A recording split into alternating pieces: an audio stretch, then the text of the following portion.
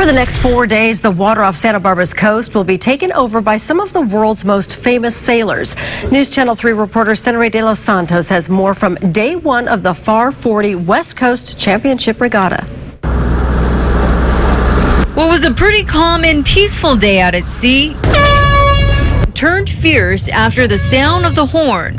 International sailors from around the world made their way to Santa Barbara to compete in the Farr 40 West Coast Championship Regatta. We've got 15 boats from around the world, uh, three from Australia, uh, Italians, Mexicans, uh, three local boats. The regatta will last for four days, and in those days, the boats will compete in a four leg race three times a day. It's all uh, on a point system, uh, so the boat with the lowest total score uh, will be the winner of the event.